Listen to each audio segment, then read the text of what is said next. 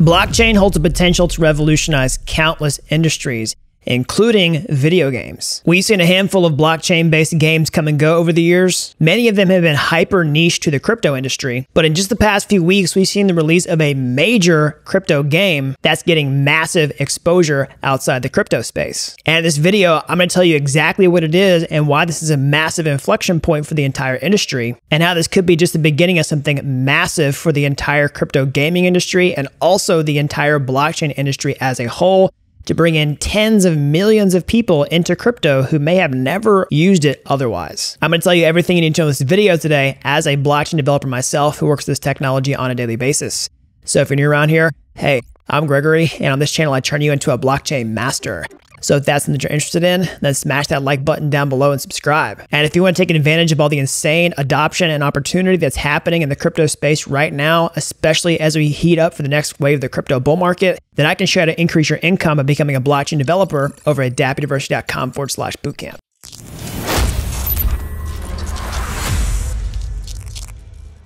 All right, so let's get into this. We'll talk about this massive crypto game that just dropped and why it's such a big deal. So, what is it? Well, it's called Off the Grid. It's a free to play battle royale game with extraction shooter elements where you can loot rewards and you can own these assets on the blockchain. This game is blending mainstream gaming with blockchain technology in a way that we've never seen before. And currently it's making massive waves outside the crypto space. So why is that? Why is it such a big deal? Well, first of all, we've seen different crypto games kind of come and go in the past. Some have had viral success, albeit short-lived, like Axie Infinity in the 2021 bull run. This was a famous play-to-earn crypto game that skyrocketed briefly, but had two fundamental challenges. It couldn't thrive outside of a bull market, and it mainly attracted people who were already into crypto. However, with this latest release of Off the Grid, it's huge because number one, it doesn't need a bull market to thrive. And number two, you don't even have to be a crypto user to enjoy playing it. In fact, many new players of the game are playing the game without even realize there's a blockchain integrated into this thing in the first place. And I don't think I have to overstate how big of a deal that is. So the gameplay itself is good and it's making a massive buzz online. I'm seeing major non non crypto gaming channels already covering the release of this game, streaming it for hours and hours. In fact, it was the sixth most viewed game on Twitch just a few days ago. It's already attracted a huge number of users since its initial release, so let's see why. So first, let's start off with the gameplay, because even if you're not into crypto, the off-the-grid experience is worth noting. You know, it's a battle royale style game set in a cyberpunk world developed by Gunzilla Games, all right? So imagine something like Fortnite or Apex Legends style shooter, but with a deeper narrative and some pretty wild customizations, like swapping out your limbs in addition addition to your weapons mid-battle. So basically, you drop into Teardrop Island with up to 150 players and a mix of PvP versus PvE scenarios. So it's not just about being the last one standing, there's actually an evolving story that changes depending on your choices throughout the match. So this blend of story and battle royale is a new thing and it's drawing a lot of attention. Okay, so that's a bit about the gameplay, but let's talk about where the blockchain comes into this.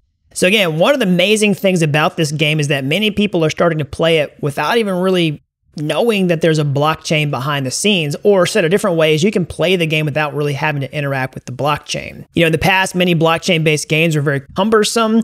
Uh, there was a massive deterrent for bringing other people onto the game who hadn't used crypto before. So, how does this work differently then?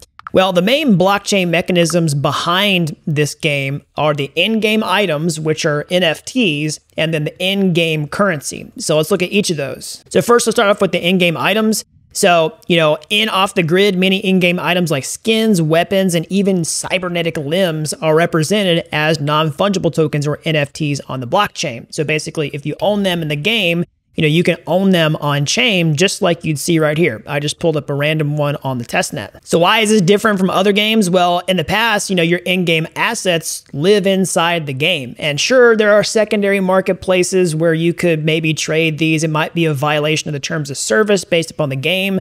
But here, because they're owned on the blockchain, you could do things like trade them on blockchain based marketplaces. Let's say there's a rare skin in the game, a rare weapon, whatever, and you own it then there's potentially a secondary market for that. So that's the first thing, the in-game items with NFTs. Now, on the other side of the things, there is an in-game token, all right, called the gun token. So this is used to trade NFTs like weapons and skin purchased in game and potentially engage in other blockchain powered features in the game ecosystem. It's basically designed to create an in-game player driven economy that blurs the lines between in-game achievements and real world assets. And again, because this is actually a token on the chain, this is something that you can have outside of the game, potentially even use in a secondary marketplace on the blockchain outside of the game itself. So, which blockchain is it using? Well, it's built on the Avalanche blockchain, specifically the Guns subnet, a custom layer one chain uh, specific for this game. Okay, so right now, you know, full disclosure, the video game is an early release, so it's running on the test network. You can go take a look at the uh, uh, test net for the Guns test net. That's the one that's purpose built for this chain. You can see the number of transactions that are increasing by the day. And on honestly, if you just go look at Andale's blocks and click through the transactions, you can pretty much see that everything is about activity related to the game. You can see here's an NFT that was created. Okay, this is a random one that I just pulled up. This is obviously some type of in-game item that someone earned by playing the game. Okay, so the final thing to note about the blockchain side of the game is it's really changing the dynamics of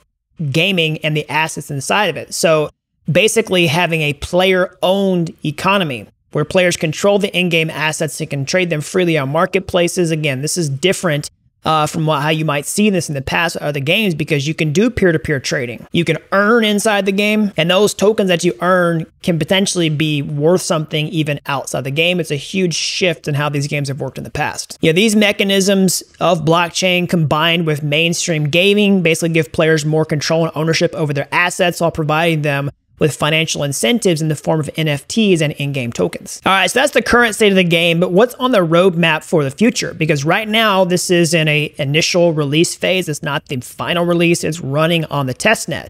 But in the testnet phase, you know, it's got over 60,000 wallets already interacting, you know, with the project at the time of recording this video.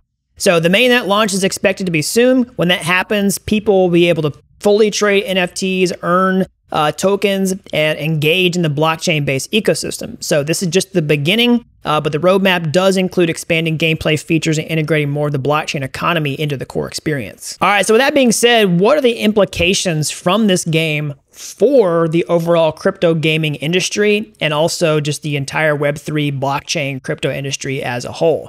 Well, currently, the entire crypto space is looking for signs of life for adoption of this core technology. Because we see we have all this game changing technology. We're trying to build things with it, and we're really trying to get that traction.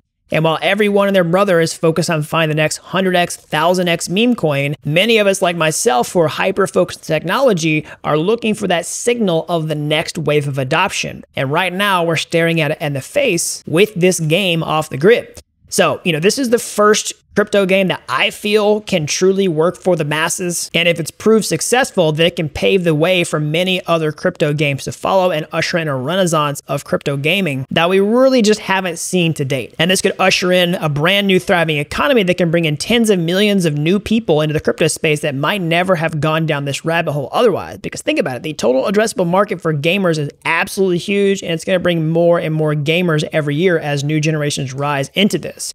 And with off the grid, you know, we're seeing a shift. This game is appealing to, you know, normies, people who aren't necessarily into crypto but love gaming. And if off the grid succeeds, it could be the first domino in wider adoption, showing that blockchain technology can enhance, not detract from mainstream gaming experiences. Now, that being said, I have seen criticisms of this floating around online, mostly from other gaming channels who have tried off the grid and are, you know, just very vocally critical of the game itself. And so I want to address some of those criticisms right now in this video.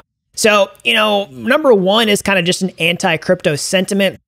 There's a lot of vocal uh, gamers who basically feel that, you know, adding blockchain and NFTs is just a way to squeeze more money out of a player, uh, that it can ruin the game experience with financial incentives overtaking the gameplay.